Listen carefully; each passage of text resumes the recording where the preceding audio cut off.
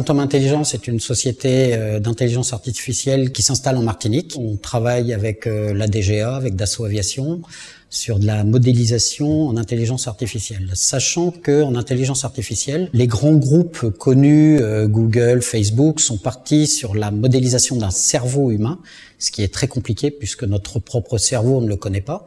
Et nous, on a pris l'option de développer des neurones, des neurones qui s'interconnectent comme ceux d'un enfant, et ce qui nous permet aujourd'hui de pouvoir nous adapter et nous, nous mettre au plus proche d'un comportement humain et de permettre à des humains de s'interfacer avec de l'IA sans ne jamais en avoir fait, et de pouvoir piloter de l'intelligence artificielle d'une manière très simple, comme ils pilotent leur entreprise. Dans le domaine médical, euh, l'intelligence artificielle nous a permis, euh, en mode non supervisé, de détecter des arrêts cardiaques 30 minutes avant qu'ils arrivent.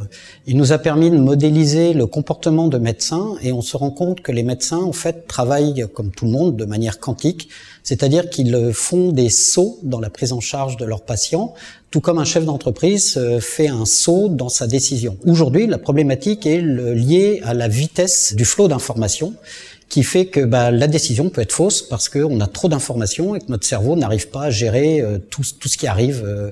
Et là, l'intelligence artificielle, elle, en temps réel, peut filtrer les informations et les adapter au mode de fonctionnement de la personne et non pas à un mode de fonctionnement général et générique. C'est ça le, vrai avantage qu'on a par rapport aux autres, c'est que non seulement on repère une photo comme fait Facebook, mais on est capable de vous dire si la personne est heureuse, malheureuse, euh, et donc dans l'aide à la décision pour une entreprise, on s'adapte à l'entreprise aux décisionnaires de l'entreprise, quel que soit son niveau. On a deux objectifs. Le premier, c'est de s'implanter dans le tissu économique martiniquais. Donc, on a déjà deux sociétés qui nous ont fait confiance. On résout euh, pour elles des problématiques identifiées par les responsables qui sont bloquantes depuis plusieurs années et pour lesquelles bah, les modes euh, habituels d'analyse n'apportent pas de solution.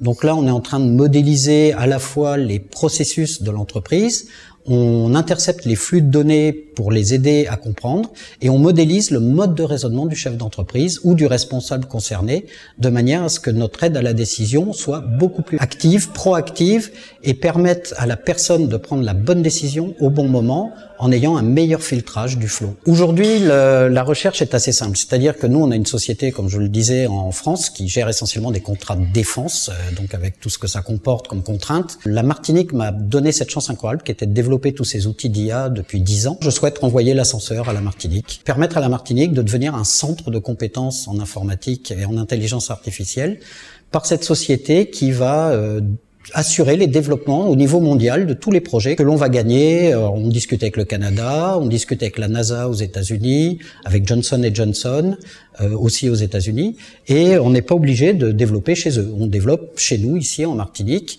Et euh, pour pousser encore plus loin, un de mes projets serait de monter une fondation de recherche privée avec les industriels d'ici qui nous permettrait de bénéficier de fonds européens euh, directement pour deux raisons euh, très simples. Géostratégiquement, l'Europe développerait de l'intelligence artificielle sur le continent américain, mais de l'intelligence artificielle européenne, puisque ce que l'on fait n'est absolument pas fait ailleurs.